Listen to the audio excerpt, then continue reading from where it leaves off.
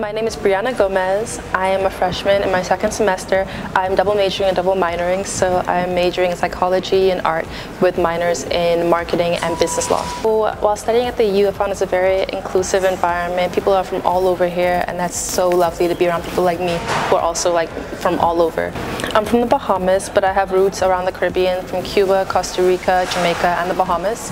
When I was three years old, one of my grandmothers used to make straw baskets and sell them in a shop back home on one of the, what we say, family islands, which one of the smaller, less inhabited islands in the Bahamas. So she would weave baskets there, and when I spent time with her growing up as a four-year-old, five-year-old, she'd teach me how to weave baskets the way she used to and sell them.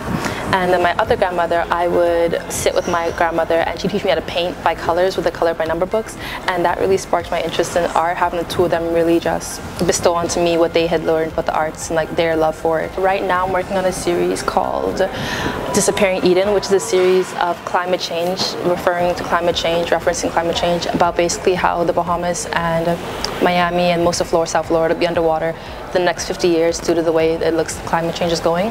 Sadly, and that being said, the places where I spent most of my childhood and young adulthood both being submerged underwater is horrific to think about, to say the least. And I hope that this series can bring about a change and a conversation at the least about what needs to be done and how fast it needs to be done. I'm hoping to continue as I've been doing, run my own business, have my own company.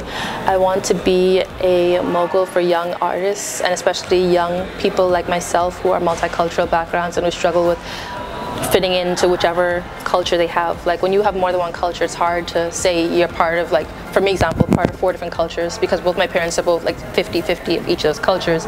It's hard when you say, someone says, oh, where, where are you from? What are you? Well, who are you people? Like stuff like that. And I have to answer with four different countries. They look at me like, so it's really funny. But um, basically to help people not have that reaction is my goal through my artwork to help bring about inclusivity, understanding, and bring about the conversation, like I said before.